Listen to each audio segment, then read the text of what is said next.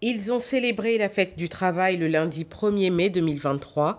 Les agents du secteur privé de Côte d'Ivoire étaient de la partie, mais avec en tête une revendication majeure, l'application du nouveau SMIG dans les entreprises.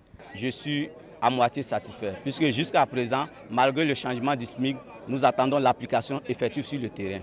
D'abord, les 60 000, il y a beaucoup d'entreprises qui n'arrivent pas à appliquer. Aujourd'hui, nous sommes à 75 000. Donc nous restons à l'écoute. Nous disons à nos plus hautes autorités, en, particulier le président de la République, son Excellence Alassane Draman Ouattara, qui veille à ce que l'application effective de ces 75 000 soit une réalité dans toutes les entreprises. Dans toutes les entreprises de Côte d'Ivoire, le nouveau SMIC va être appliqué à 100%.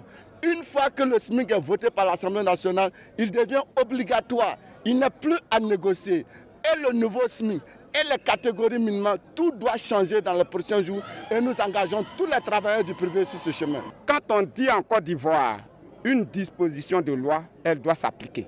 Elle est non négociable. C'est une loi.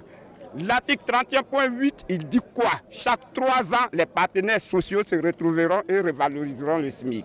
Quand on attend 9 ans avant d'augmenter, ça devient anormal.